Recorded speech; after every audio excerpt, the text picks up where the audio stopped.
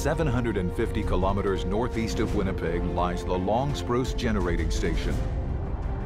Completed at a cost of over $500 million, Long Spruce was the fourth station built on the Nelson River.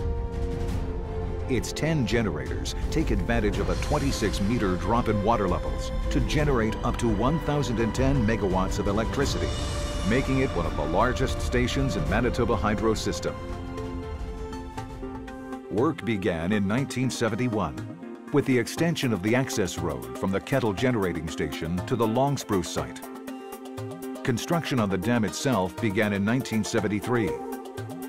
By the time construction was completed in 1979, over 460,000 cubic meters of concrete had been used on the project, enough to build a two-lane highway almost 200 kilometers long. Long Spruce is a run-of-river plant, meaning that water arriving at the station is used almost immediately. However, over 13 kilometers of diking is still required to contain the forebay, giving Long Spruce a unique look among Nelson River plants. The station's main dam, spillway, and powerhouse serve as a bridge across the Nelson, allowing traffic using Provincial Road 280 to reach Gillam the generator hall at Long Spruce measures almost one-third of a kilometer in length. Despite its massive size, less than 45 employees are needed to run the plant.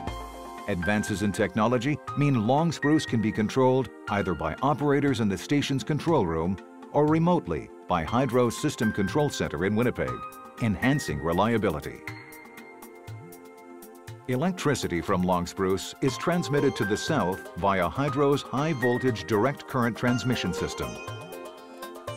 Half of the station's output goes to the Radisson converter station and half to the Henday converter station, where it is converted from alternating to direct current.